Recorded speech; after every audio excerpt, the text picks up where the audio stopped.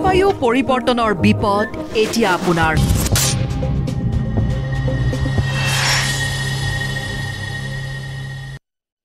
আৰম্ভ স্বাগতম জনাইছোঁ আৰু আৰম্ভ কৰিছোঁ প্ৰাইম ডিবেট বিষয় ৰাজনীতি। নিৰ্বাচনৰ উপ নিৰ্বাচনৰ বিষয় আছেই। তাৰ লগে লগে এ আই ডি এফত সংঘাত এ আই ডি এফ বদ্ৰীন ৰাজমালে পুনৰ সভাপতিৰ দায়িত্ব লৈ জীয়াই তুলিব পাৰিবনে শক্তিশালী কৰিব পাৰিব নেকি এইটো ডাঙৰ প্ৰশ্ন। দুহেজাৰ ছাব্বিছৰ নিৰ্বাচন কেন্দ্ৰিক ৰাজনীতি সোনকালে আৰম্ভ হ'ব। এই বাৰিষাটো শেষ হ'ব উৎসৱৰ বতৰ শেষ হ'ব পঁচিছ আহিব আৰু ৰাজনীতি আৰম্ভ হ'ব। কাৰণ ছাব্বিছৰ আপোনাৰ শেষৰ ভাল ভাগলৈ হয়তো নিৰ্বাচন ঘোষণাই কৰিব লাগিব ডিচেম্বৰ বা জানুৱাৰী মাহলৈ সাতাইছ ছাব্বিছৰ জানুৱাৰী বা পঁচিছৰ ডিচেম্বৰ মানলৈ। গতিকে সকলো ফালৰ পৰা সাজু হৈছে। মোৰ অতিথিসকল আছে বিজেপি বিধায়ক দিগন্ত কলিতা ডাঙৰীয়া আপোনাক স্বাগতম জনাইছোঁ। মোৰ সৈতে অসম গণ পৰিষদৰ জ্যেষ্ঠ নেতা অপূৰ্ব ভট্টাচাৰ্য ডাঙৰীয়া আছে স্বাগতম জনাইছোঁ। মোৰ সৈতে ইউ পি পি এলৰ বিধায়ক জিৰণ বসুমতাৰী ডাঙৰীয়া আছে স্বাগতম জনাইছোঁ। খন্তেক সময়ৰ পিছতে মোৰ সৈতে সংযুক্ত হ'ব কংগ্ৰেছৰ প্ৰাক্তন সাংসদ আব্দুল খালেক ডাঙৰীয়া আৰু পদুম্ন গোস্বামী ডাঙৰীয়া। ডক্টৰ পদুম্ন গোস্বামী বিশ্লেষক লেখক আমি চৰ্চা কৰি আছোঁ। মই প্ৰথমতে আহিছোঁ আহ, দিগন্ত কলিতা ডাঙৰীয়া ওচৰলৈ সন্মুখত প্ৰত্যাহ্বান যথেষ্ট আছে নতুন কেইবাটাও বিষয় আহিছে। আপোনালোকে অৱশ্যে আপোনাৰ শিৱসাগৰ জিলাত হেৰিটেজ প্ৰকল্প আপোনালোকে ইউনেস্কোৰ পৰা ল'বলৈ সক্ষম হৈছে যথেষ্ট লবি ইত্যাদি কৰি। গতিকে তেনেকুৱা ধৰণৰ কিছু কাম লাগিছে। কিন্তু এতিয়াও মানুহৰ সন্মুখত বহুত সমস্যা আছে মূল্যবৃদ্ধিকে ধৰি নিবনুৱা সমস্যা এনেকুৱা ধৰণৰ প্ৰত্যাহ্বান কেইবাটাও আছে। বান গৰাখহনীয়া সমস্যা সমাধানো কৰিব লাগিব কিন্তু বিপদজনক। আৰু সেই ক্ষেত্ৰত সোনকালে কাম কৰিব পাৰিলে ভাল। চাওক প্ৰত্যাহ্বানটো আছেই এইটো স্বাভাৱিক কথা। বহুত সমস্যা অসমত আছে আৰু কিছু সমাধাও হৈছে। আৰু ইমান এখন বিশাল আমাৰ জনগোষ্ঠীয় এখন ৰাজ্য ইয়াত আপোনালোকে জানে সকলো কথা সৰু সৰু কথাবিলাক। আমি খুব চিন্তা চৰ্চা সূক্ষ্মভাৱত আমাৰ ৰাইজে চিন্তা কৰে। তাৰ মাজত চলিব লাগিব। আশা কৰিছোঁ যে আমি এখন সুন্দৰ অসম গঢ়াৰ এক সপোন দেখিছোঁ সেইখন যাতে খুব ভালকৈ আমি উপহাৰ দিব পাৰোঁ। আৰু সময় আছে দুটা বছৰ আমাৰ হাতত সময় আছে এতিয়া আমাৰ কিছু ডেমেজ আমি ৰিপেয়াৰো কৰিব পাৰিম এতিয়া। এখ- এখন চৰকাৰ আৰু ফিফটি পাৰ্চেণ্ট যোৱাৰ পিছত এতিয়া বা তিনিটা বছৰ যোৱাৰ পিছত ভুল শুধৰণিবিলাক আমি গম পাওঁ। গম পাই আৰু দুটা বছৰ থকা যিহেতু আছে চৰকাৰখন আমি সেই ভুলবিলাক শুধৰাই। আৰু এইটোও ঠিক যে হাণ্ড্ৰেড পাৰ্চেণ্টটো আৰু শুধৰাব আমিও নোৱাৰোঁ কাৰণ এইটো আৰু সম্ভৱ নহ'ব। কিন্তু যিমানখিনি পাৰোঁ আমাৰ মুখ্যমন্ত্ৰী ডাঙৰীয়াই হওক বা আমাৰ সতীৰ্থসকলে হওক বা আমাৰ এলায়েন্সত থকা দলসকলে আমি আগুৱাই লৈ যোৱাৰ ক্ষেত্ৰত এক সংকল্পবদ্ধ।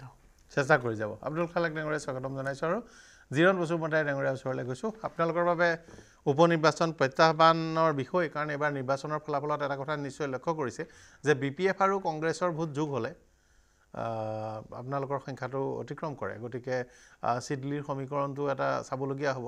যদি মিত্ৰজোঁটে এজন প্ৰাৰ্থীৰ প্ৰক্ষেপ কৰে আপোনালোকৰ প্ৰাৰ্থী থাকে। আনহাতে এই কথাটোও চাবলগীয়া হ'ব যে মিত্ৰজোঁটৰ যি এতিয়া সংঘাত হৈছে নিজৰ মাজত কিছু বুজা পৰাৰ অভাৱ হৈছে। গতিকে মিত্ৰজোঁট বুলি তাত যিহেতু অংশীদাৰ নাই বি পি এফো চৰকাৰৰ লগত অন্ততঃ বিধানসভাত ফ্ল'ৰ কৰ্ডিনেশ্যনত আছে। গতিকে সমগ্ৰ বিষয়টো আপোনালোকৰ বাবে গুৰুত্বপূৰ্ণ কথা হ'ব। অন্ত- অন্ততঃ চিডলি আপোনালোকে হাতত সহজভাৱে ৰাখিব পাৰিব লাগিব।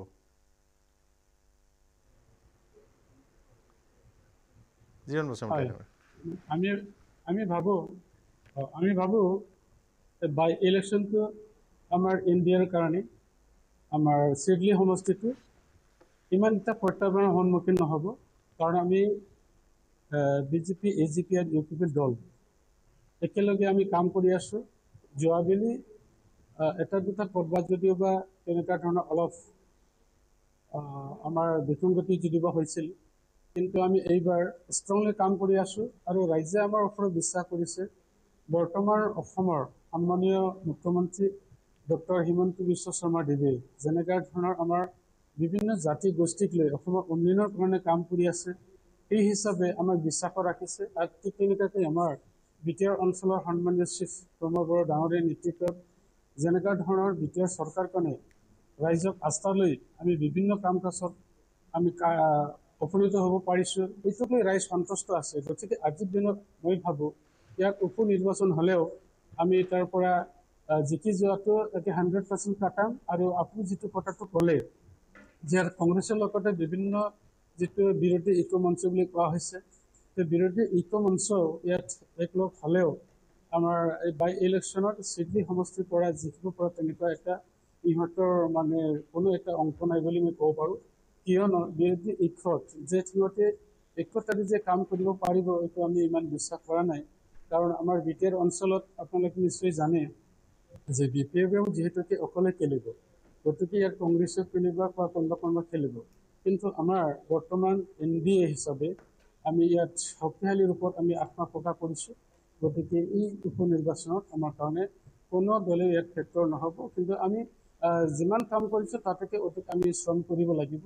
আৰু যেনেকুৱা ধৰণৰ আজিৰ তাৰিখত আপোনালোকে নিশ্চয়কৈ জানে আমাৰ চৰকাৰখনে বা ডক্টৰ হিমন্ত বিশ্ব শৰ্মা দেৱৰ যে আমাৰ টীম আছে আমাৰ আৰ অঞ্চলত যেনেকুৱা ধৰণৰ কাম কৰিব লাগিছিলে আজিৰ তাৰিখত আমি বহুতো কাম কৰিব পাৰিছোঁ। তাৰ কাৰণে বি টি চি অঞ্চলত বসবাস কৰা বিভিন্ন জাতি গোষ্ঠীসমূহে আমাক আঁকোৱালি লৈছে আমাক বিশ্বাসো লৈছে। গতিকে এই বিশ্বাস আৰু আস্থাক লৈ আমি কাম কৰিবৰ কাৰণে আগুৱাই যাম। আৰু এই। ক্ষেত্ৰত আমি কোনোদিনে কোনো জেগাত হেঙাৰ নাপাব বুলি মই ভাবিছোঁ ভট্টাচাৰ্য ডাঙৰীয়া আপোনালোকৰ চিটৰ আমি কথা পাতিছোঁ কিন্তু এতিয়া মূল কথাটো হ'ব যে বাকীখিনিত ভোট ট্ৰান্সফাৰ এইবাৰ নিৰ্বাচনত যিটো অভিযোগ উঠিছিল অন্ততঃ ডিব্ৰুগড় যোৰহাট ইত্যাদি সমষ্টিত অগপৰ পৰা যিমান যেনেধৰণে ভোট ট্ৰান্সফাৰ হ'ব লাগিছিল আনকি অন্যান্য কেইবা ঠাইতো এই হিচাপটো ওলাইছে যে তেনেকৈ ভোটৰ ট্ৰান্সফাৰ মানে।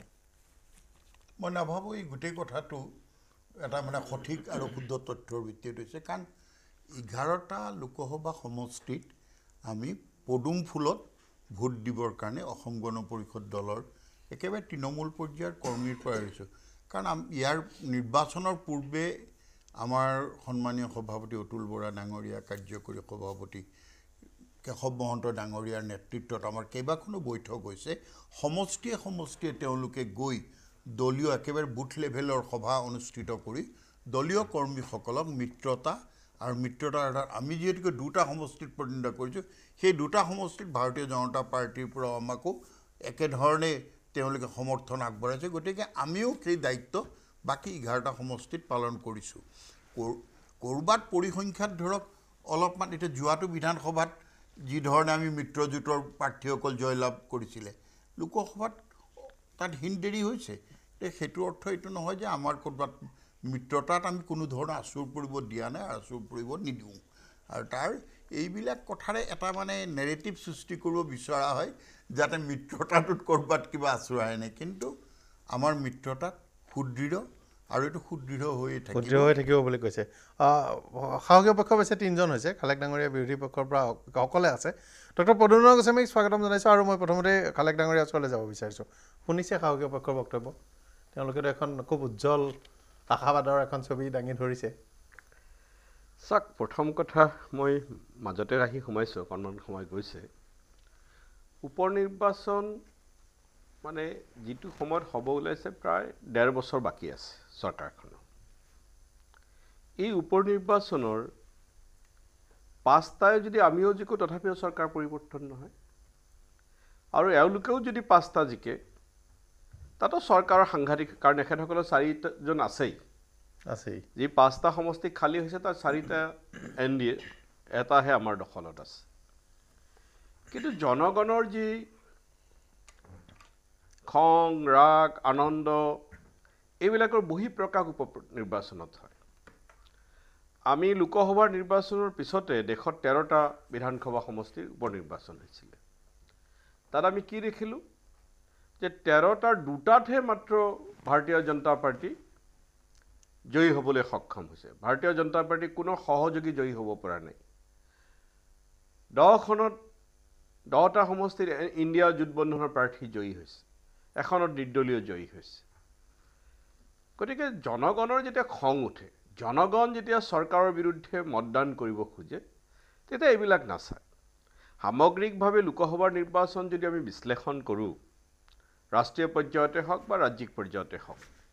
ৰাজ্যিক পৰ্যায়ত হয় তেওঁলোকৰ আসন বৃদ্ধি হৈছে। কিন্তু মেণ্ডেট কিন্তু যদি স্প্ৰীড যিটো সেই স্প্ৰীডটো কিন্তু তেওঁলোকৰ বিৰুদ্ধে গৈছে। যোৰহাটত তেওঁলোকে পৰাজিত হৈছে। বেছিভাগ সমষ্টিত বিজেপি বা এন ডি এৰ ভোটৰ সংখ্যা কমিছে আমাৰ ভোট বাঢ়িছে। গতিকে আমি আশাবাদী যে আগ আসন্ন যি উপ নিৰ্বাচন এই উপ নিৰ্বাচনতো হয় আমাৰ এজন বিধায়ক আছিলে পাঁচজনৰ ভিতৰত। সেই এটা নিৰ্দিষ্ট সমষ্টিটো আমাৰ দখলত থাকিবই। আমাৰ আৰু সংখ্যা বৃদ্ধি হ'ব সেই কথা মই এতিয়ালৈকে যিটো মই খা খবৰ পাই আছোঁ আমাৰ বিধানসভাত আমাৰ শক্তি বৃদ্ধি হ'ব। নিশ্চিত শক্তি বৃদ্ধি হ'ব। ডক্টৰ প্ৰদ্যুন্ন গোস্বামী ডাঙৰীয়া। যিটো খা খবৰ আহিছে আমাৰ শক্তি বৃদ্ধি হ'ব। ডক্টৰ প্ৰদ্যুন্ন গোস্বামী ডাঙৰীয়া। শক্তি বৃদ্ধি হ'ব আশা কৰিছে। হয়। চাওক প্ৰগতা ধন্যবাদ। প্ৰথম কথাটো হ'ল কি অলপ আগতে খালেক ডাঙৰীয়াই যিটো কথা কৈছে সেই কথাটো মই এটা সমৰ্থন কৰোঁ যে উপ নিৰ্বাচনটো অনুষ্ঠিত হ'লেও এতিয়া সেই উপ নিৰ্বাচনটোৰ পৰা যিয়ে ফলাফল নাহক কিয় চৰকাৰখনৰ ডেৰটা বছৰ আছে আৰু এই ডেৰটা বছৰত গোটেইকেইটাও যদি বিৰোধী পক্ষৰ পৰা জয়ী হয় তেতিয়াও একো ধৰণৰ বিশেষ সলনি নহয়। সেইটো এক প্ৰথম কথা। আৰু দ্বিতীয় কথাটো হ'ল ইয়াত আটাইতকৈ গুৰুত্বপূৰ্ণ কথা উপ নিৰ্বাচনটোৰ লগত দুটা কথা জড়িত হৈ আছে। মই যিটো ভাবোঁ যে উপ নিৰ্বাচনত যি ফলাফল নাহক চৰকাৰখনত তাৰ বিষয়ত একো বিশেষ প্ৰভাৱ নপৰিলেও এই উপ নিৰ্বাচনৰ ফলাফলটোৱে কিন্তু ছাব্বিছৰ ইলেকশ্যনটোত অলপ এটা হ'লেও মানুহৰ মানসিকতাত কিছু এটা প্ৰভাৱ পেলাব। প্ৰথম কথা। দ্বিতীয় কথাটো হ'ল এই উপ নিৰ্বাচনটোৰ লগত আৰু এটা অত্যন্ত খুব গুৰুত্বপূৰ্ণ দিশ জড়িত হৈ আছে যিটো এখন চৰকাৰৰ এটা অভ্যন্তৰীণ বিষয় হ'লেও আমি এজন সাধাৰণ নাগৰিক হিচাপে এই কথাটো ক'ব লাগিব যে উপ নিৰ্বাচনটোৰ লগত মন্ত্ৰীসভাৰ সাল সলনিৰ এটা বিষয় জড়িত হৈ আছে। চৰকাৰখনে অতি কম সময়ৰ ভিতৰতে মন্ত্ৰীসভাৰ সাল সলনিৰ বিষয়টো আৰম্ভ কৰিব। আমাৰ কিন্তু এজন সাধাৰণ নাগৰিক হিচাপে এখন গণতান্ত্ৰিক দেশৰ নাগৰিক হিচাপে ক'বলগীয়া বিষয় সেইটোহে আছে। সেইটো কিয় আছে আমি সাধাৰণতে বিগত সময়ত দেখি আহিছোঁ যে কেইজনমান মাননীয় মন্ত্ৰীৰ বাদে বেছি সংখ্যক মাননীয় মন্ত্ৰীকে কিন্তু বহুতকেইটা বিভাগত তেওঁলোকক ইনেক্টিভ দেখা গৈছিলে। আৰু সাধাৰণতে মাননীয় মুখ্যমন্ত্ৰীগৰাকীয়ে বিষয়বিলাকৰ ওপৰত হস্তক্ষেপ নকৰিলে কোনো এটা বিষয়ৰ সঠিক সমাধান যেন আমি পাবলৈ নোৱাৰোঁ বা পাব নাপাওঁ তেনেকুৱা এটা দিশে গৈ থকা হৈছিলে।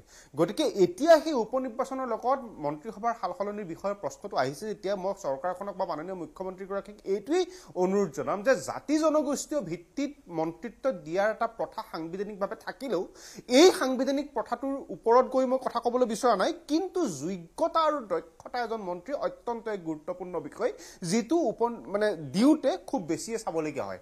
নেক্সট কথাটো হ'ল কি নেক্সট এটা ৰাজনৈতিক বিষয় যদিও এজন অৰাজনৈতিক ব্যক্তি হিচাপে মই বাহিৰৰ পৰা লক্ষ্য কৰোঁ কংগ্ৰেছৰ দলটোৱে আজি কিছুদিনৰ পৰা এটা আমি সংবাদ মাধ্যমত লক্ষ্য কৰি আহিছোঁ যে তেখেতলোকে উপ নিৰ্বাচনটো অকলে খেলাৰ এক প্ৰয়াস কৰিছে বা এটা কথা সংবাদ মাধ্যমত বহুতে কোৱা শুনিছোঁ।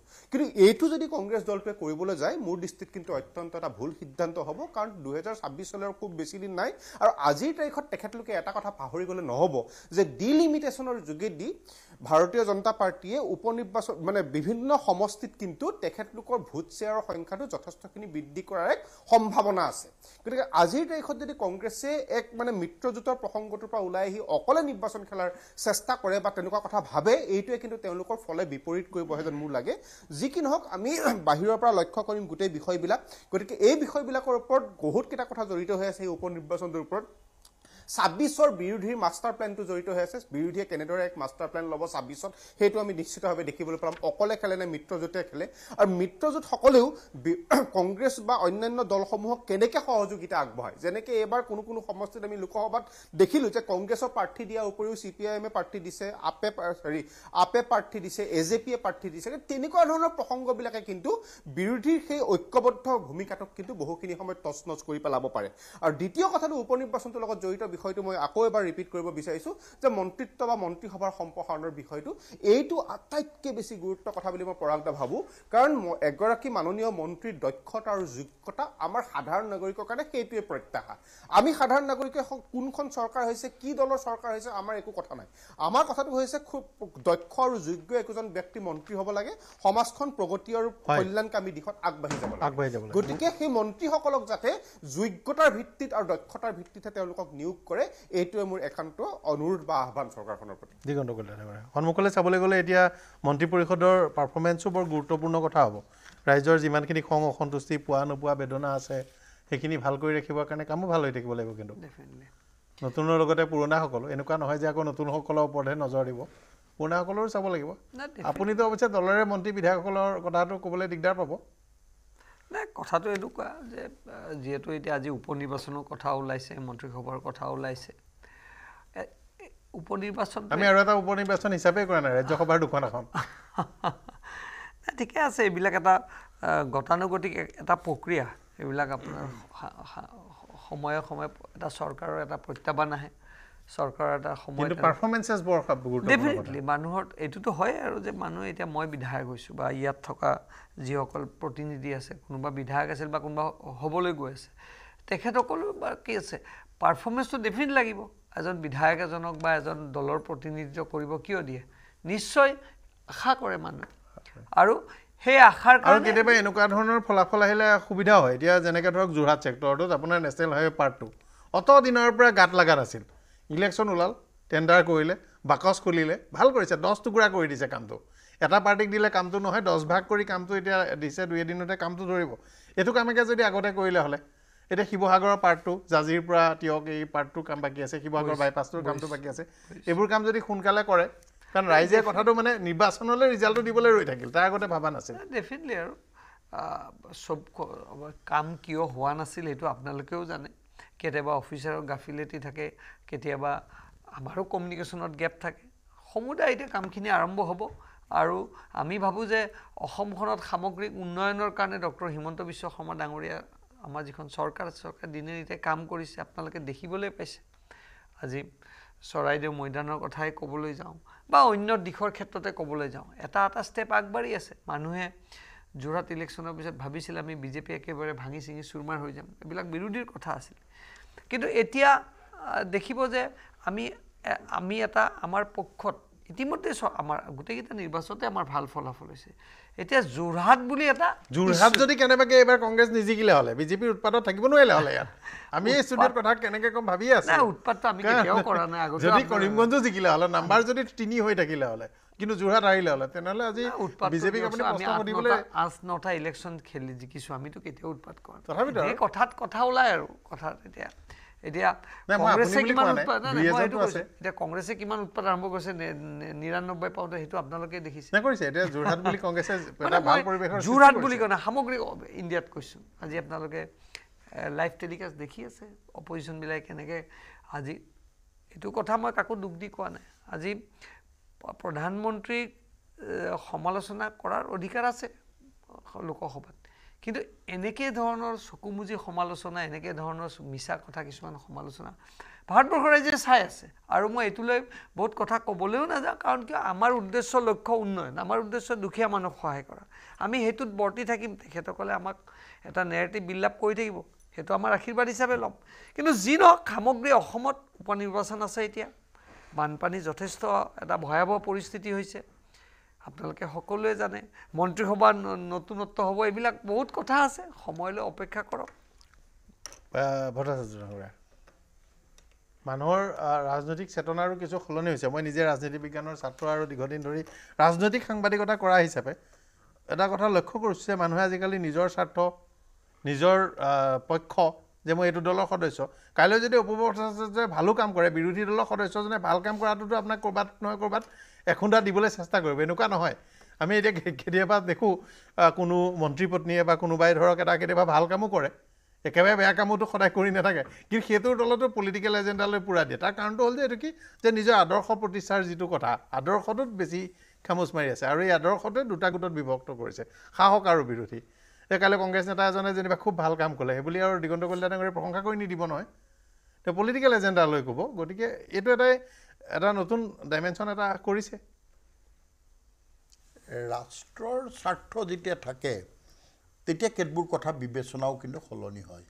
এনেকুৱাও নহয় যে বিৰোধী হ'ল বুলিয়েই প্ৰশংসাও কৰা হোৱা নাই। ভাল কথা বতৰাৰ সদায় প্ৰশংসা কৰি। এতিয়া আমাৰ প্ৰয়াত প্ৰধানমন্ত্ৰী অটল বিহাৰী বাজপেয়ী ডাঙৰীয়াই দেখোন তাৰ এটা জ্বলন্ত নিদৰ্শন দেখুৱাই থৈ গৈছে। দেশক যে ৰাজনীতি এটা তেওঁ ধাৰা নতুনকৈ প্ৰতিষ্ঠা কৰিছে। তেওঁৰ চিকিৎসা সম্পৰ্কীয় বিষয়ৰ কথা তেওঁ কৈছে।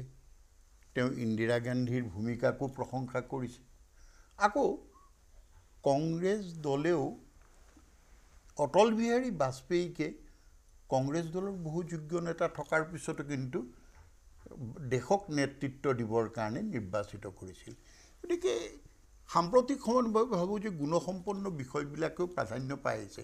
এতিয়া সাত সত্তৰতো এই কথাটো ক'ব লাগিব যে অসমৰ বৰ্তমানৰ মুখ্যমন্ত্ৰীগৰাকীৰ লেখীয়াকৈ টুৱেণ্টি ফ'ৰ ইণ্টু ছেভেন ৰাজ্যখনক শাসন কৰি থকা বা নেতৃত্ব দি থকা ব্যক্তি এজনৰ কথা কওকচোন।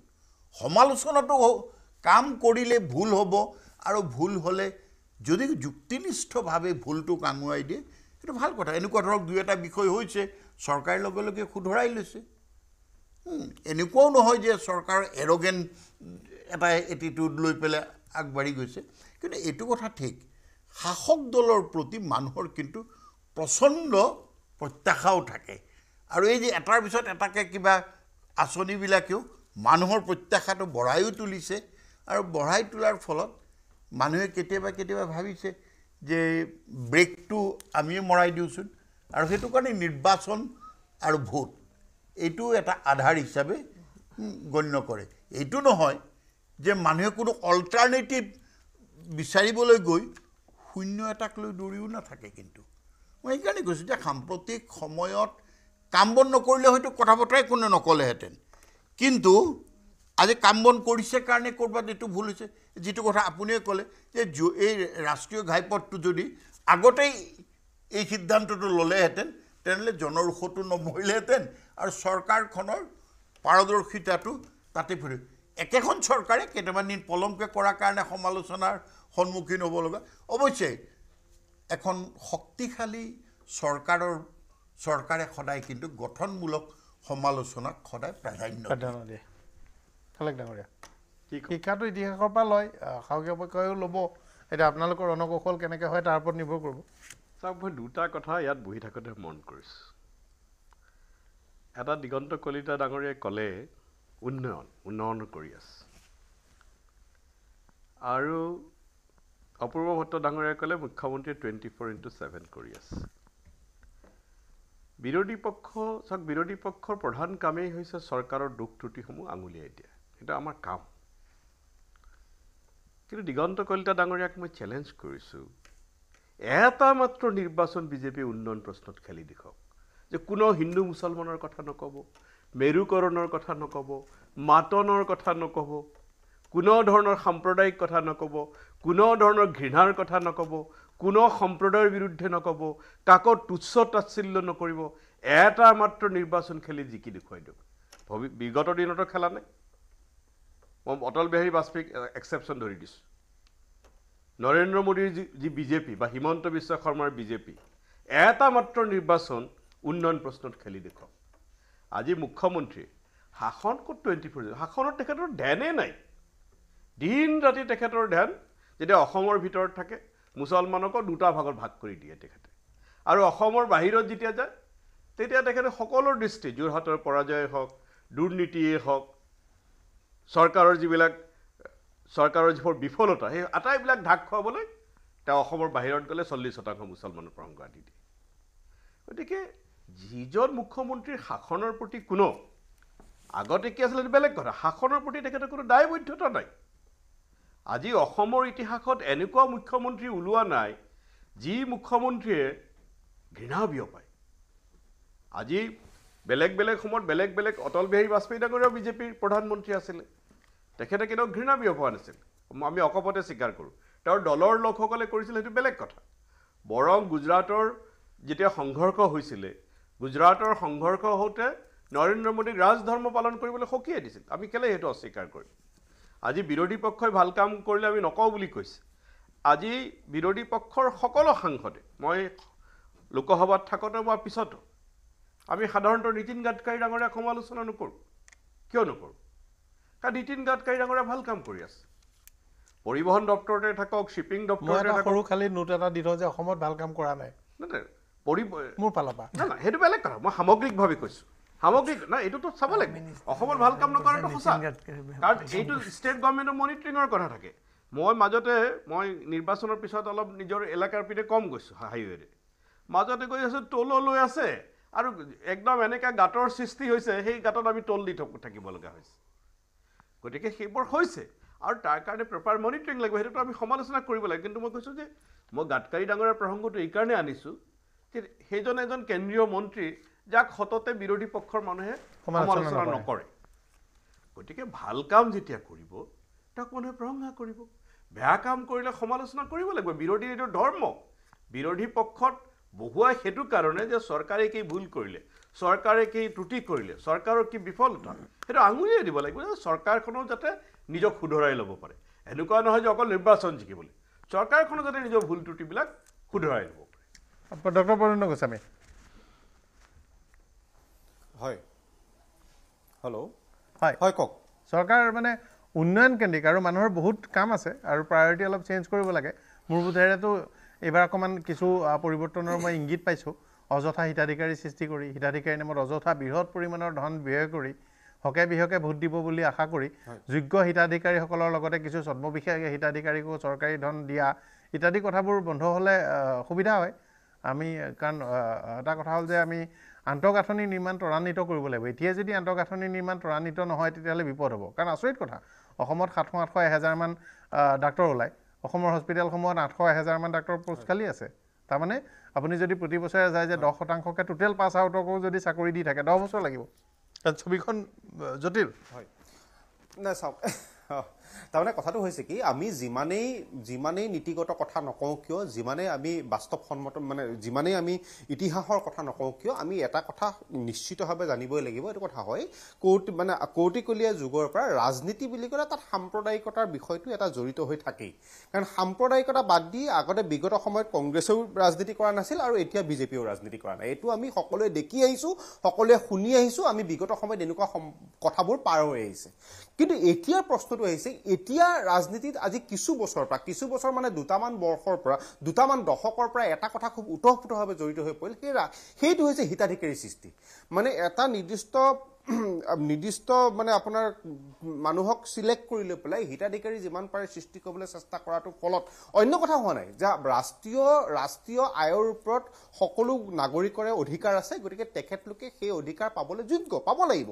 কিন্তু এই কথাটো আমি হিতাধিকাৰী সৃষ্টিত সদায় লক্ষ্য কৰিব লাগিব যে হিতাধিকাৰী সৃষ্টিয়ে যাতে এখন দেশৰ উৎপাদনশীলতাক হ্ৰাস কৰি নেপেলায়। উৎপাদনশীলতাক হ্ৰাস কৰি নেপেলোৱাকৈ নাগৰিকক সকাহ দিয়াটো এখন চৰকাৰৰ কৰ্তব্য আৰু সেই চৰকাৰৰ কৰ্তব্যৰ আধাৰতে আৰু নাগৰিকৰ এক মানে নীতিগত তেখেতলোকৰ অধিকাৰৰ আধাৰতে তেখেতলোকে হিতাধিকাৰী হৈছে আৰু প্ৰত্যক্ষ আৰু পৰোক্ষভাৱে আমি প্ৰত্যেকজন লোকেই কিন্তু হিতাধিকাৰী। কিন্তু এইখিনিতে এই কথাটো আটাইতকৈ গুৰুত্বপূৰ্ণ বিষয় মই যিটো কথা আকৌ ৰিপিট কৰিছোঁ যে উৎপাদনশীলতা হ্ৰাস কৰিব নাপায় যিটো কথা কিন্তু বিগত সময়ত চৰকাৰবোৰৰ ক্ষেত্ৰত আমাৰ পৰিলক্ষিত হৈছে। আৰু হিতাধিকাৰী সৃষ্টি প্ৰক্ৰিয়াটো যেন প্ৰত্যেকখন চৰকাৰৰ এক প্ৰতিযোগিতা। এই কথাটো কোনো বিজেপি বুলি কথা নাই কোনো কংগ্ৰেছ বুলি কথা নাই কোনো টি ডি পি বুলি কথা নাই কোনো অন্যান্য দল বুলি কথা নাই। কোনোবা এখন চৰকাৰে যদি কিবা এটা দিশত আপোনাৰ অমুক আঁচনি তৈয়াৰ কৰিছে কোনোবা এখন চৰকাৰে ইলেক্ট্ৰিচিটি ফ্ৰী দিছে কোনোবা এখন চৰকাৰে কোনোবা এখন ৰাজ্যত গৈ পেলাই অমুক এটা আঁচনি ফ্ৰী দিছে অমুকটো কৈছে কোনোবাই কৈছে এশ পঞ্চাছ ইউনিটলৈকে বিদ্যুৎ ফ্ৰী দিম কোনোবাই কৈছে একেবাৰে বিদ্যুৎ ফ্ৰী দিম কোনোবাই যদি পোন্ধৰশ টকা দিছে কোনোবাই কৈছে মই পঁচিছশ টকা দিম। মুঠতে এইটো এটা কম্পিটিশ্যন আজিৰ তাৰিখত। আৰু এই বস্তুটো ৰাজনীতিৰ ক্ষেত্ৰত আজি দুটামান দশকৰ দশকৰ আগলৈকে নাছিলে দুটামান দশকৰ পিছত সাম্প্ৰদায়িকতাৰ লগতে এই হিতাধিকাৰী সৃষ্টিৰ প্ৰসংগটো জড়িত হৈছে। কিন্তু আটাইতকৈ ডাঙৰ কথা হ'ল কি আজি যদি আমাৰ নিউ জেনেৰেশ্যনটোৱে নতুন প্ৰজন্মটোৱে এইবিলাক কথা বিশ্লেষণ কৰি চাই আপুনি যিটো কথা ক'লে বিগত লোকসভা নিৰ্বাচনত হিতাধিকাৰী সৃষ্টিৰ পিছতো একাংশ ছদ্মবেশী হিতাধিকাৰীয়ে চাথ নিদিলে। ইয়াৰ কাৰণটোৱে হৈছে কি মানুহে সকলো চাই থাকিব। লগতে কিন্তু উন্নয়নটো আৰু উন্নয়নটো এক অত্যন্ত গুৰুত্বপূৰ্ণ বিষয়। উন্নয়ন আৰু সংস্থাপন উন্নয়নৰ সংস্থাপন প্ৰধান আৰু গুৰুত্বপূৰ্ণ বিষয়। গতিকে উন্নয়নটো আজিৰ তাৰিখত আজি ত্ৰিছ বছৰ আগৰ অসমখন নাই বা ত্ৰিছ বছৰ আগৰ ভাৰতবৰ্ষখন নাই আজি ছ'চিয়েল মিডিয়াৰ যুগ সামাজিক মাধ্যমৰ যুগ আজিৰ তাৰিখত মিডিয়া ইমান ষ্ট্ৰং হৈছে। প্ৰত্যেকটো বিষয়ে ছ'চিয়েল মিডিয়াত আজিৰ তাৰিখত যিকোনো এজন ব্যক্তিয়ে নিজৰ মতা মতামত প্ৰকাশ কৰিব পৰা হৈছে। আগতে এজন সাধাৰণ ব্যক্তিয়ে যদি নিজৰ মতামত প্ৰকাশ কৰিবলগীয়া হয় তেওঁ হয় এখন পেপাৰলৈ এটা আৰ্টিকল লিখিব লাগিব নতুবা ৰেডিঅ'ত গৈ টিভিত গৈ কিবা এটা কথা ক'ব লাগিব যিটো কথা এজন সাধাৰণ নাগৰিকৰ কাৰণে সম্ভৱপৰ নাছিল। আজিৰ তাৰিখত আমি ছ'চিয়েল মিডিয়াত হাজাৰ গালি পাৰিলেও এটা কথা আমি নিশ্চিতভাৱে ক'ব লাগিব যে ছ'চিয়েল মিডিয়াত যিকোনো শ্ৰেণীৰ যিকোনো এজন ব্যক্তিয়ে নিজৰ মতামত বা মতাদৰ্শক প্ৰকাশ কৰিব পৰা হ'ল। যিটোৱে সমগ্ৰ ৰাজনৈতিক ব্যৱস্থাটোক কিন্তু ভাৰতীয় সামাজিক ব্যৱস্থাটো ৰাজনৈতিক ব্যৱস্থাটোক এক বৃহৎ পৰিৱৰ্তন আহিছে। গতিকে এই পৰিৱৰ্তনবিলাকে লক্ষ্য কৰিয়ে এই পৰিৱৰ্তনবিলাকৰ ফলতে আমি বিগত সময়ত লোকসভা নিৰ্বাচনটোত বিজেপিয়ে নিশ্চিতভাৱে জয় লাভ কৰিছে। কংগ্ৰেছে মাত্ৰ নিৰানব্বৈখনহে আসন পাইছে। বিজেপিয়ে এপচুলত বিজেপিয়ে মেজৰিটি লৈ পেলাই গভৰ্ণমেণ্ট ফৰ্ম কৰিছে। কিন্তু তাৰ পিছত আমি দেখিলোঁ যে তেখেতলোকে এনে যিটো নেৰেটিভ তৈয়াৰ কৰিছিল চাৰ চপাৰ চাৰ চপাৰ চাৰ চপাৰ নেৰেটিভটোৰ পৰা তেখেতলোক নামি আহি পেলাই কিন্তু দুশ চল্লিছতে সীমাবদ্ধ হ'বলগীয়া হ'ল। যিটো হয়তো এক্সিট পলৰ আগলৈকে বা পিছলৈকে কোনো এজন ভাৰতীয় নাগৰিকে কল্পনাই কৰিব পৰা নাছিল। কাৰণ সাধাৰণ নাগৰিকেও সাধাৰণ ৰাইজেও যে এটা সময়ত ৰাজনীতি কৰি দিব পাৰে সাধাৰণ ৰাইজৰ ভিতৰতো যে এটা ৱেভ থাকিব পাৰে এই কথাটো আমাৰ সাধাৰণ কোনো মিডিয়া হাউচ বা কোনো ৰাজনৈতিক দলে সেইটো তৰ্কিবই নোৱাৰিলে। গতিকে এইটো ভাৰতীয় গণতান্ত্ৰিক ব্যৱস্থাৰ কাৰণে এক সুন্দৰ কথা বুলি মই ভাবোঁ। এইটোৱে হৈছে ভাৰতীয় গণতন্ত্ৰ। যিটো গণতন্ত্ৰই নাগৰিকক সেই অধিকাৰটো দিছে আৰু এটা দলক সেই অধিকাৰটো দিয়া নাই আৰু নাগৰিকে দলৰ সকলো কাম কাজ লক্ষ্য কৰি থাকে। আৰু মই বিচাৰিম মই আশা কৰিম এই লোকসভা নিৰ্বাচনটোৰ পৰা যদিও তেখেতলোকে জয়লাভ কৰিছে কংগ্ৰেছে মাত্ৰ নিৰানব্বৈখন আসনহে পাইছে এই লোকসভা নিৰ্বাচনটোৱে কিন্তু বহুতৰ কাৰণে শিক্ষা বহুতে এই কথাবিলাক নিশ্চিতভাৱে চিন্তা কৰিব লাগে। যিটো আপুনি এই কথা প্ৰসংগটো ক'লে যে যোৰহাট নিৰ্বাচনৰ ফলাফলে বা আপাৰ আছামৰ নিৰ্বাচনৰ ফলাফলে এই ৰাষ্ট্ৰীয় ঘাইপথৰ নিবিদা দিবৰ কাৰণে নিবিদাৰ যিটো আবণ্টন প্ৰক্ৰিয়া সেই প্ৰক্ৰিয়াটো খৰতকীয়া কৰি তুলিলে। সেই এনে আজি নীতিন গাডকাৰী ডাঙৰীয়া এটা প্ৰসংগ সুধিলে যে ষাঠি কিলোমিটাৰৰ ভিতৰত যদি মানুহৰ ঘৰ থাকে তেতিয়া আপোনাৰ কি হয়? টোল দিব নালাগে। মই ৰহা টোল গেটটোৰ পৰা মোৰ ঘৰ পাঁচ কিলোমিটাৰ দূৰত। ৰহা টোল গেটৰ পৰা একজেক্টলি পাঁচ কিলোমিটাৰৰ ভিতৰত মোৰ টোল মোৰ ঘৰ। তাৰপিছতো মই ৰহা টোল গেটত এখন পাছ নাপাওঁ মই সদায় টোল ভৰি ভৰি বজাৰ কৰিবলৈ আহিবলগীয়া হয়। গতিকে এনেকুৱা ধৰণৰ কথাবিলাকে মানুহৰ মাজত ক্ষোভৰ সঞ্চিত কৰে যে মোৰ ঘৰৰ কাষতে থকা টোল গেটখনতো যদি মই সাধাৰণ নাগৰিক এজনে বজাৰ কৰিবলৈ দিনটোত ৰহালে কেতিয়াবা তিনিবাৰো যাবলগীয়া হয়। এই তিনিবাৰ যাবলগীয়া হ'লে তিনিবাৰে টোল দি পেলাই এজন মানুহে যেতিয়া যাবলগীয়া হ'ব এইবিলাক কথাই মানুহৰ মনত খুব সঞ্চিত কৰে। আৰু এই গণতান্ত্ৰিক প্ৰক্ৰিয়াটো যিটো আমি লোকসভা নিৰ্বাচন বিগত সময়ত পালোঁ এই কথাবিলাকেই কথাবিলাকৰ অলপ সলনি কৰিব বুলি।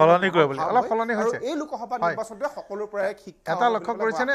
মানে নিৰ্বাচনৰ আগলৈকে বাটে পথে অলপ আৰ চাৰ লৈ লুকাৰ চুৰ কৰি যেনেকৈ ইণ্টাৰচেপ্টৰ কেইখন আছিল আৰু এটা গুৱাহাটীতে একদম। এটা কৰ সন্ত্ৰাসৰ সৃষ্টি কৰিছিল ট্ৰেন্সপৰ্ট ডিপাৰ্টমেণ্টে সেইটো নিৰ্বাচনৰ ফলাফল ঘোষণাৰ পৰা কমি গৈছে। আপুনি মোটামুটি ইণ্টাৰচেপ্টৰ কেইখন ঘূৰি থাকে কিন্তু এনেকৈ মানে যধে মধে গুৱাহাটীত গাড়ী পাৰ্কিঙত ৰাখিব নোৱাৰে ইত্যাদি ঘটনাও আছে। ভাল এনেকুৱা কথা। কাৰণ। কৰ সন্ত্ৰাসটো মানে বৰ বিপদজনক ৰূপ লৈছিল। দহ লাখ মানুহ থকা গুৱাহাটী মহানগৰীখনত এটা বছৰ তিনিশ পঁয়ষষ্ঠি কোটি টকা ট্ৰেন্সপৰ্টে ফাইন কালেক্ট কৰা বুলি কৈছিল। পাৰ হেড জনমূৰি হিচাপে কিমান? প্ৰতিটো মানুহৰ। মানে নৱজাতক বাচ্ছা এটাইও কৰ দিবলগীয়া হোৱা নিচিনা পৰিস্থিতি। এনেকুৱা ধৰণৰ এটা মানে টেক্স টেৰৰিজিমো মানুহক জ্বালা কালা খুৱাইছিল। গোটেই হাইৱে ইত্যাদি টোল আছেই ৰহাৰটো কথা মই নকওঁৱেই। মানে এইমছ বিচাৰি টোল গেট পোৱা চাগৈ ৰহাৰে ৱৰ্ষ্ট বাৰ্গেন কিন্তু যিয়ে নহওক আপোনাৰ ওচৰলৈ আকৌ এবাৰ আহিম। হয়। জিৰণ বসুমতাৰী ডাঙৰীয়া। নিশ্চিতভাৱে। বি টি আৰতো এই মুহূৰ্তত ডাঙৰ প্ৰত্যাহ্বান আছে। যদিও এবাৰ বাজেটত কিছু পইচা দিছে পইচা টকা যথেষ্ট নহয় পৰ্যাপ্ত নহয়। কৰিবলগীয়া বহু কাম আছে মানুহে আশাৰে চাই আছে। হয়। যে আপোনালোকে চাওক আমি যিটো বাজেট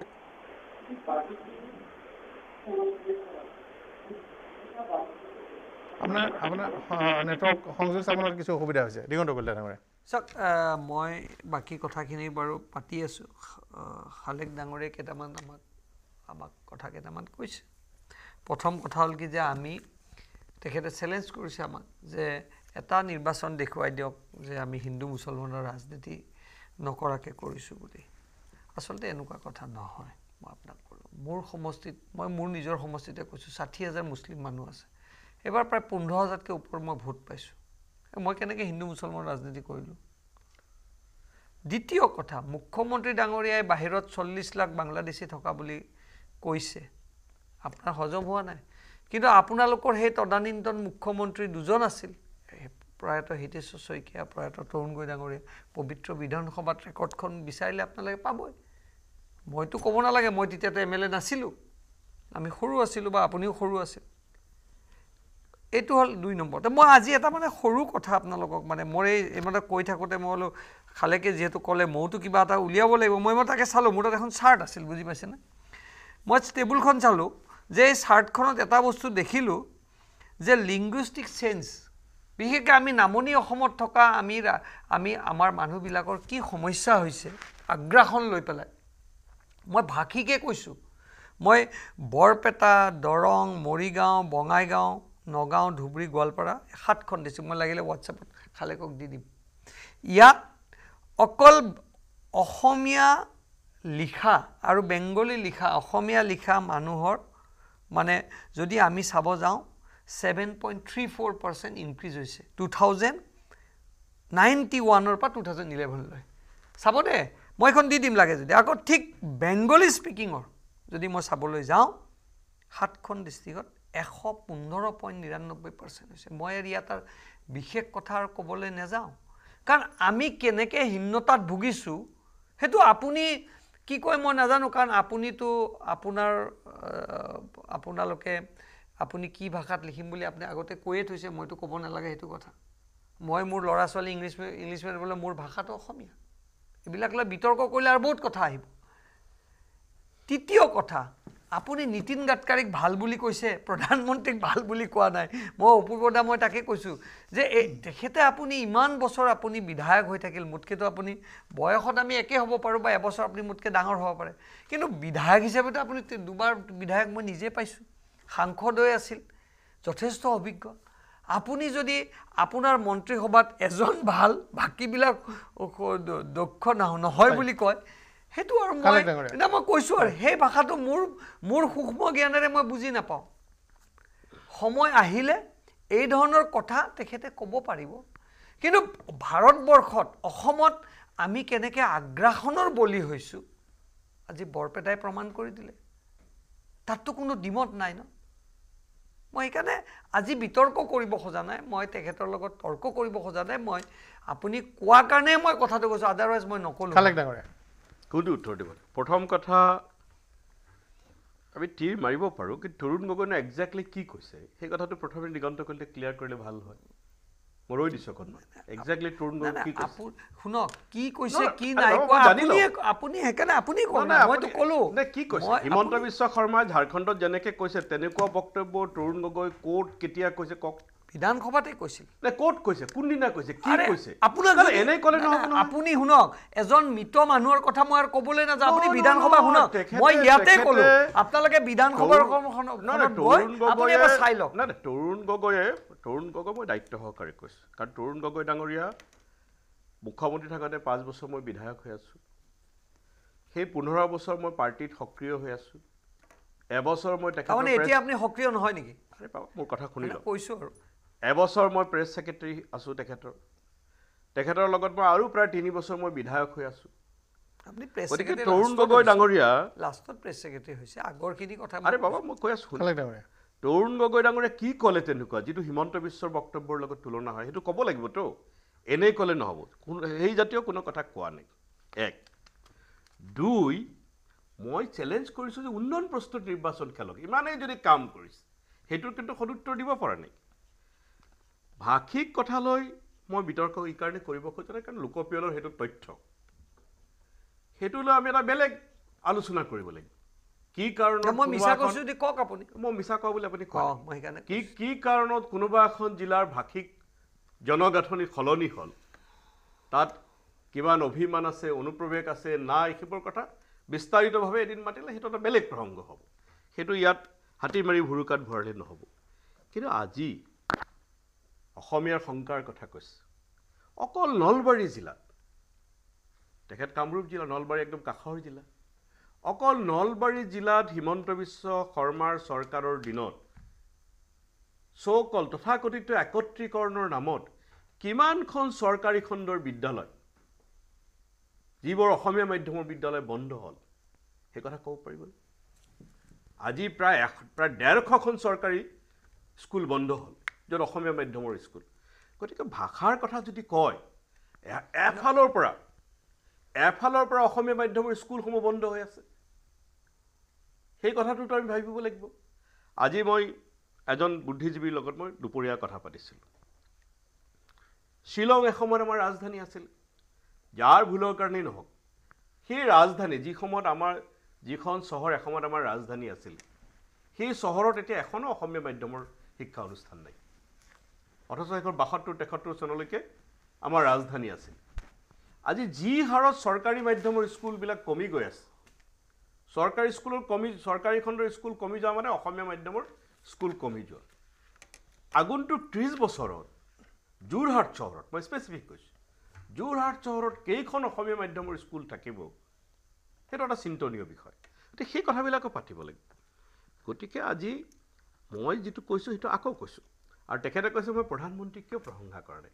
প্ৰশংসা কৰিব পাৰিলেহে কৰিম। দেশৰ প্ৰধানমন্ত্ৰীয়ে যেতিয়া দেশৰ প্ৰধানমন্ত্ৰীয়ে যেতিয়া নিৰ্বাচনৰ সময়ত ঘৃণা ছটিয়াব মাটন বিতৰ্ক কৰিব মুজৰা বিতৰ্ক কৰিব উন্নয়নৰ প্ৰশ্ন যদি উন্নয়নৰ সকলো কেনেকৈ দুজন বিশেষ উদ্যোগপতি লাভান্বিত হ'ব পাৰে আম্বানী আদানী কিদৰে লাভান্বিত হ'ব পাৰে সেই কাম কৰিব। প্ৰশংসা মই কৰিম ক'ৰ পৰা? প্ৰশংসা কৰা যোগ্য কাম কৰিলে গাডকাৰী ডাঙৰীয়াও বিজেপিৰ ব্যক্তি। প্ৰশংসাযোগ্য কাম কৰিছে কৰিছোঁ। এসময়ত বাজপেয়ী ডাঙৰীয়াই ইন্দিৰা গান্ধীক দেৱী দুৰ্গাৰ লগত তুলনা কৰিছিল। কাৰণ ইন্দিৰা গান্ধীয়ে সেই সময়ত তেনে কাম কৰিছিল। কাৰণ ইন্দিৰা গান্ধী এতিয়া এখেতসকলে খুব পাকিস্তান বিৰোধিতা কৰে। ৰাষ্ট্ৰবাদৰ নতুন সংজ্ঞা সেইটো হৈছে। কিন্তু ইন্দিৰা গান্ধীতকৈ ডাঙৰ ৰাষ্ট্ৰবাদী আছে নেকি? কাৰণ ইন্দিৰা গান্ধীয়ে পাকিস্তানক দুডখৰ কৰি পেলাইছিলে। এওঁলোকেতো মুখেৰেহে কথা কয়। এওঁলোকে পাকিস্তানৰ মানচিত্ৰখন সলনি কৰিব পৰা নাই। কিন্তু ইন্দিৰা গান্ধীয়ে নিজৰ দূৰদৰ্শিতা আৰু নিজৰ পৰাক্ৰমেৰে দূৰদৰ্শিতাৰে পাকিস্তানক দুডখৰ কৰিছিল। ইন্দিৰা গান্ধীতকৈতো ডাঙৰ ৰাষ্ট্ৰবাদী নাই। মই পাৰ্লামেণ্টত এবাৰ কৈছিলোঁ মোদী ডাঙৰীয়াক যদি আপুনি পাৰে আজি বালুচিস্তানৰ লোকসকলে স্বাধীনতা বিচাৰি আছে। ইন্দিৰা গান্ধীয়ে যেনেকৈ বাংলাদেশৰ জন্ম দিছিলে পাকিস্তানক দুডখৰ কৰি। আপুনি স্বাধীন পাক বালুচিস্তানৰ জন্ম দিয়ক। যিহেতু বালুচবিলাকে তাত স্বাধীনতা বিচাৰিছে। আপোনাক আমি নমস্কাৰ কৰিম আপোনাক আমি ধন্যবাদ আ, চৰ্চা কৰি থাকিম এটা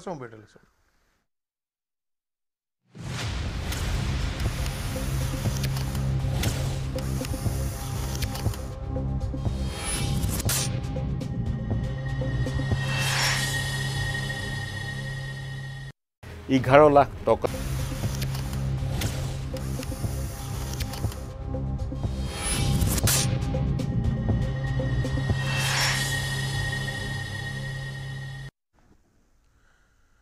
প্ৰাইম ডিবেট বিৰতিৰ পিছত স্বাগতম জনাইছোঁ। চৰ্চা কৰি আছোঁ ৰাজনৈতিক প্ৰেক্ষাপট। জিৰণ বসুমতাৰী ডাঙৰীয়াৰ ওচৰলৈ গৈছোঁ। আপোনাৰ সৈতে পূৰ্বে সংযোগ স্থাপন কৰাত কিছু অসুবিধা হৈছিল। এইটো কথা স্পষ্ট যে বি টি চিবাসীৰ বি টি আৰবাসীক ক্ষমা কৰিব যথেষ্ট আশা আছে।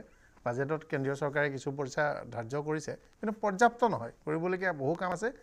আৰু বি টি আৰতো উন্নয়নমূলক আঁচনি ৰূপায়ণত যথেষ্ট দুৰ্নীতি হোৱা বুলি অভিযোগ আহিবলৈ আৰম্ভ কৰিছে।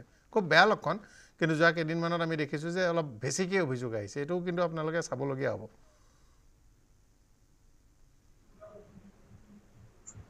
বাজেটত আমি যিখিনি চেণ্ট্ৰেল গভমেণ্টৰ পৰা বি টি চি চৰকাৰ হিচাপে পাবলৈ সক্ষম হৈছোঁ আপোনালোকে চাওক এইবাৰ আমি প্ৰায় দুইগুণ পাবলৈ সক্ষম হৈছোঁ। গতিকে এটা বাজেটতে সম্পূৰ্ণ কাম যে হ'ব এইটো নহয় কাৰণ আমি ভাৰত স্বাধীনতা হোৱাৰ পিছৰে পৰা ঊনৈছশ সাতচল্লিছ চনৰ পৰা যিটো আমি বাজেট দেখিবলৈ পাইছোঁ বা বাজেট আমি কৰাতে দেখিবলৈ পাইছোঁ এই বাজেটসমূহে কিন্তু কোনোদিনো আমাৰ নিডছবিলাকক ফুলফিল কৰিব পৰা নাই। কিন্তু আজি আমি এই দহটা বছৰ মানত আমি দেখিবলৈ পাইছোঁ চেণ্ট্ৰেল চৰকাৰৰ পৰা যিখিনি আমাৰ বাজেট ইয়াত ধৰা হৈছে আৰু এই বাজেটৰ দ্বাৰাই আমাৰ যিমানবোৰ অঞ্চল বা ৰাজ্যসমূহক চকীকৰণে যি কাম কৰিবলৈ লোৱা হৈছে বা ষ্টেটসমূহৰ যি অংশ হিচাপে আমি পাবলৈ সক্ষম হৈছোঁ এই বাজেটসমূহৰ দ্বাৰা আমি বহুতো কাম কৰিবলৈ সক্ষম হৈছোঁ। আৰু ইয়াৰ লগতে ক'ৰবাত ক'ৰবাত আপুনি কোৱাৰ দৰে যে ক'ৰবাত যদি দুৰ্নীতি হৈছে এইটো চেক আমি কৰি আছোঁ। আৰু আমাৰ অঞ্চলখন ভালকৈ আমি কাম কৰিবৰ কাৰণে আমি চেষ্টা চলাইছোঁ।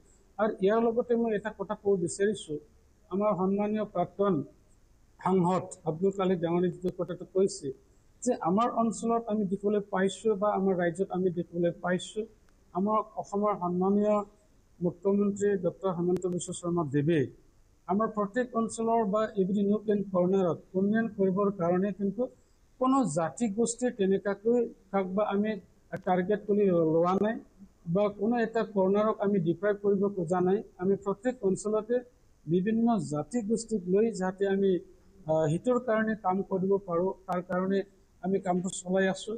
আৰু আমাৰ সন্মানীয় মুখ্যমন্ত্ৰীৰ নেতৃত্বতে অসমত যিটো ওৱান লাখ চাকৰি দিয়াৰ কথা কৈছিল এইটো আমি মেৰিট বেচিছত দিছোঁ। তাক কাকো ডিপ্ৰাইভ কৰা হোৱা নাই। যিয়ে যেনেকুৱা ধৰণৰ মানে পাব লগা আছে সেইটো আমি দিছোঁ। আৰু ইয়াৰ লগতে বিটিয়াৰ অঞ্চলতো যিখিনি উন্নয়ন কৰিব লাগিছিল আমাৰ ষ্টেট গভমেণ্টৰ পৰা বা চেণ্ট্ৰেল গভমেণ্টৰ পৰা যিখিনি আমাক ধন দিব লগা আছে সেইখিনি আমাক সময়মতে দিয়া হৈছে।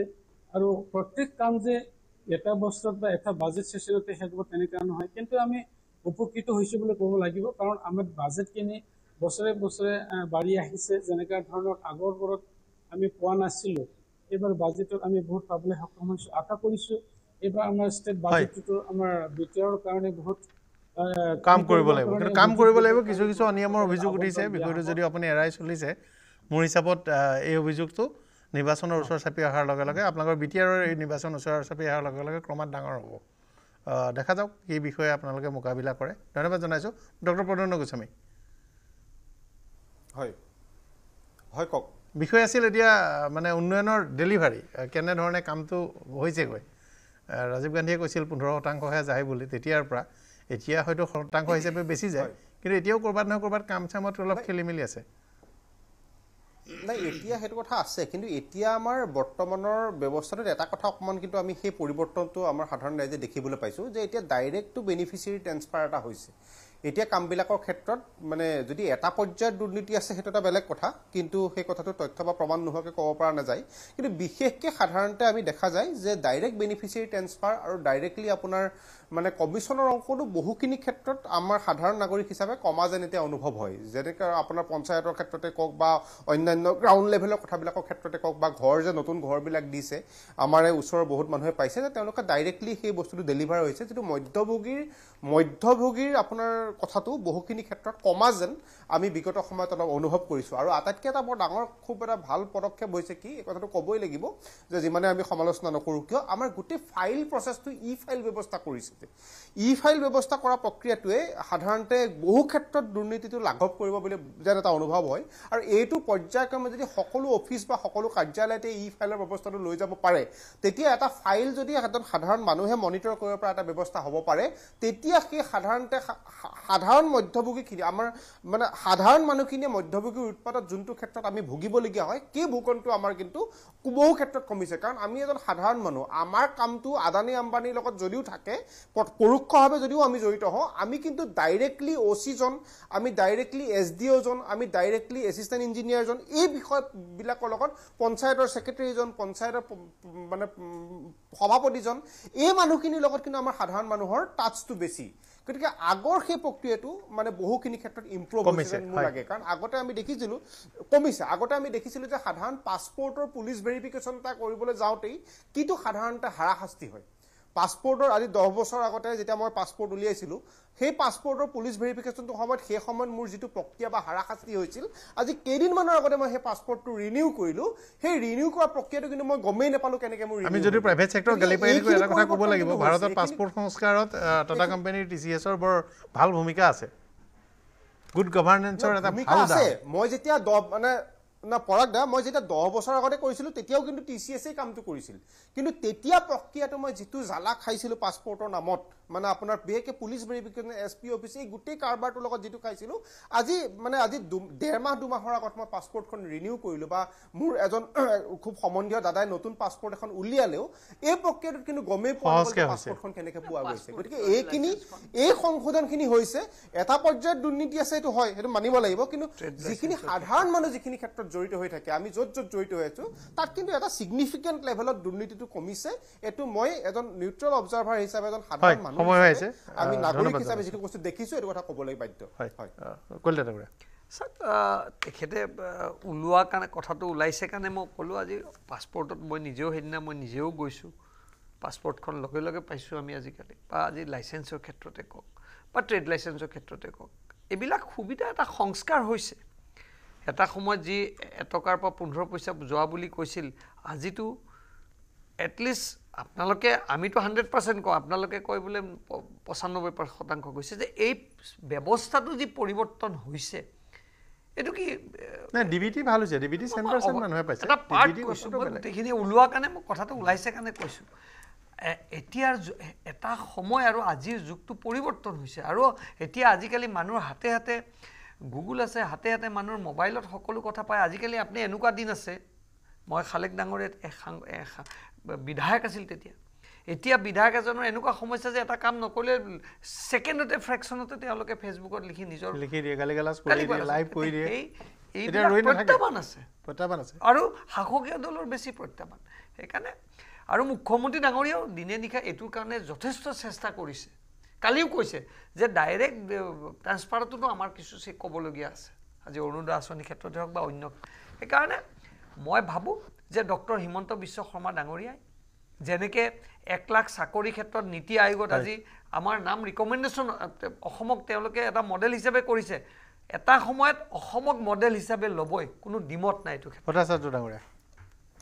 নে চাওক ই গভাৰ্নেন্সে সাধাৰণ মানুহক সাধাৰণ মানুহ কিয় মিত্ৰজোঁটৰ প্ৰতি আকৰ্ষিত হৈ গ'ল?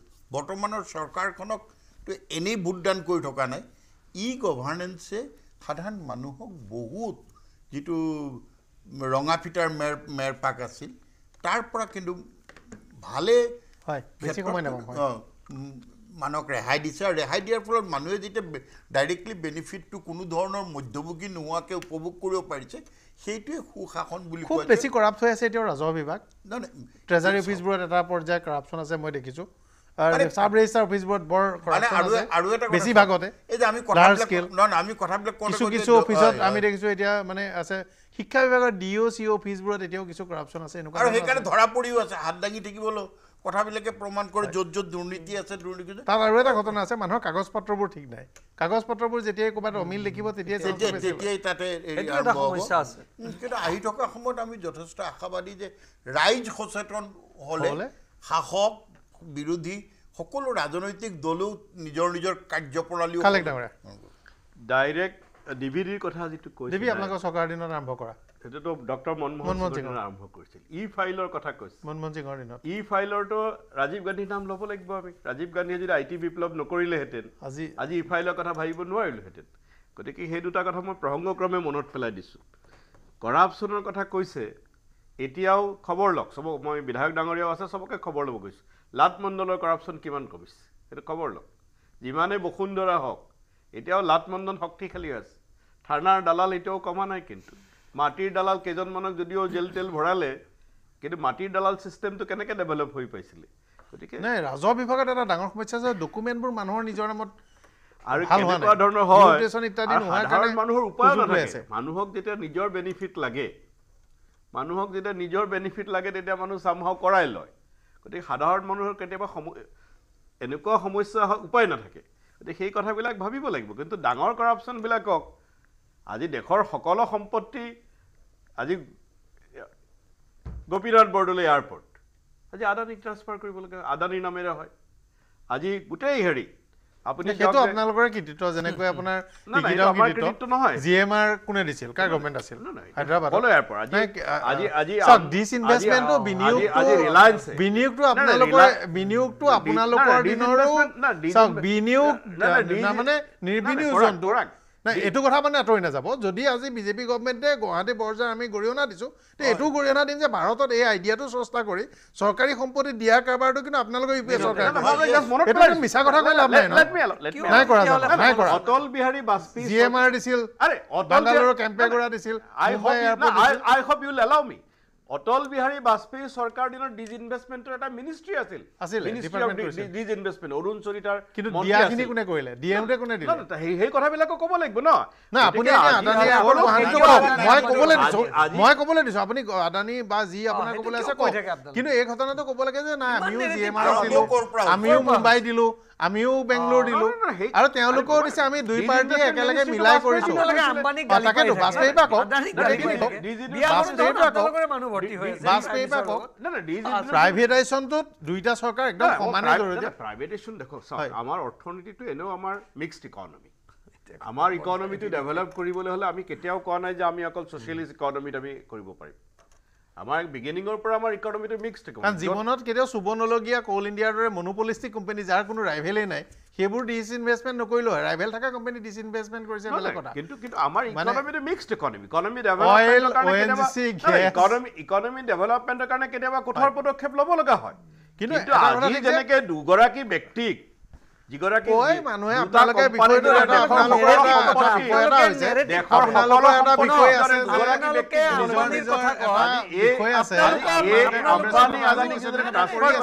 কিন্তু আপোনালোকৰ সমস্যাটো হ'ল যে আপোনালোকৰ বিষয়টো হ'ল যে ভালেই আপোনালোকে এটা নেৰেটিভ সৃষ্টি কৰিছে বিজেপিক গালি পাৰিছে বিজেপিয়ে উত্তৰ দিব পৰা নাই আপোনালোকৰ বৰ সুবিধা। কিন্তু এটা কথা ঠিক যে ভাৰতত এনে পৰম্পৰাৰ স্ৰষ্টা বা এই পৰ- পৰম্পৰাবোৰ একদম ভাল অফিচিয়েল পৰ্যায়লৈ নিয়াত আপোনালোকৰ আমি যথেষ্ট industry অৰিহণা আছে বিৰুদ্ধে নহয়। যথেষ্ট অৰিহণা আছে যথেষ্ট। অৰিহণা আছে আমি মোৰ সময় হৈ আহিছে আমি বিৰুদ্ধে সময় হৈ আহিছে। সময় হৈ আহিছে বিদায় লৈছোঁ ধন্যবাদ ধন্যবাদ জনাইছোঁ আৰু। অনুষ্ঠানৰ সামৰণি মাৰিছোঁ কিন্তু এটা কথা ঠিক যে পুঁজিপতিক দিয়া পৰম্পৰা আপোনালোকে আৰম্ভ কৰিছে দুটা বিষয় আপোনালোকৰ দিনৰ পৰা আৰম্ভ লাগিব। যাকে যি আৰু ব্যৱহাৰ কৰাৰ নামত কিন্তু ৰাষ্ট্ৰৰ স্বাৰ্থৰ নামত চাওক ৰাষ্ট্ৰৰ। স্বাৰ্থৰ নামত এটা কথা জানেনে? জানে এটা কথা জানেনে? ডিফেন্স ছেক্টৰত ডিফেন্স ছেক্টৰত ডাঙৰ ডাঙৰ কেলেংকাৰী ওলাইছিল ৰাফেলকে ধৰি নকওঁ ডিফেন্স ছেক্টৰত গতিকে এইবোৰ কথা defence sector defence sector defence sector ৰাফেলত আমাৰ দিনত কৰিছিল ইনকুৱাৰী হৈছে। আমাৰ ইনকুৱাৰী হৈছে, ইনকুৱাৰীও নহয়। ইনকুৱাৰীৰ পৰা পলায় প্ৰধানমন্ত্ৰীয়ে। JPC আজি দিব নোখোজে।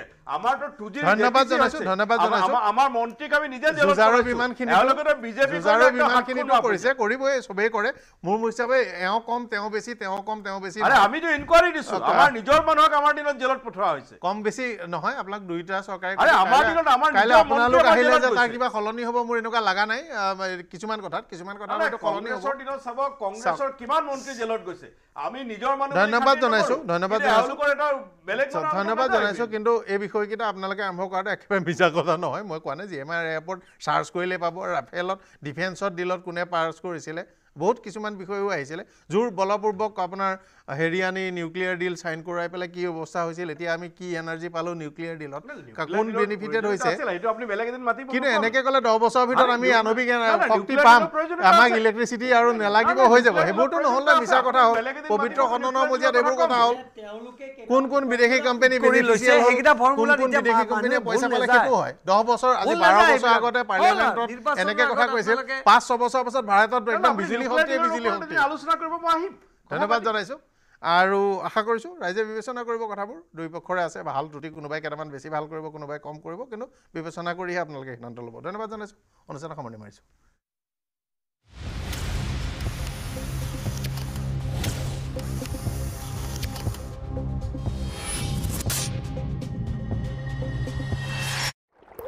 বিশেষ